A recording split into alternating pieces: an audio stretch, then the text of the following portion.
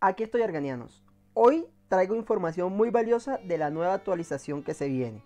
Pero primero necesito informarles que este fin de semana hubo un inconveniente en la plataforma y en los servidores, lo que hizo que a muchas personas se les reiniciara su juego, de tal manera que perdieron armas o perdieron artículos importantes.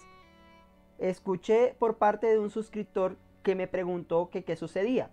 Me puse a averiguar y me enteré de que muchas personas en el santuario de Odín y en zonas se les reinició las cosas, de tal manera que hasta en el distrito perdieron lo que ya habían avanzado.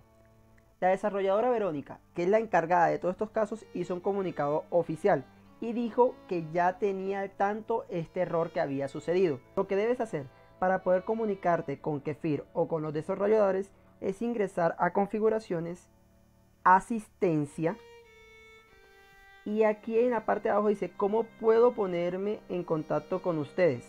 Entonces tú le das clic, dices cómo puedo ponerme en contacto, le vuelve y le das clic y aparece esto. Intentamos responder a las preguntas más habituales en nuestras preguntas frecuentes, así que te recomendamos que pruebes buscar unas respuestas en estos artículos.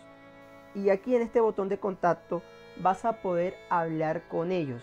Te abre como especie de un chat y ahí le puedes explicar todo lo que te sucedió, qué fue lo que perdiste y ellos en uno o dos días más o menos te estarán contestando. Como te dije, ya la desarrolladora Verónica tiene información de esto. Solamente es hablar y recuperar tus cosas.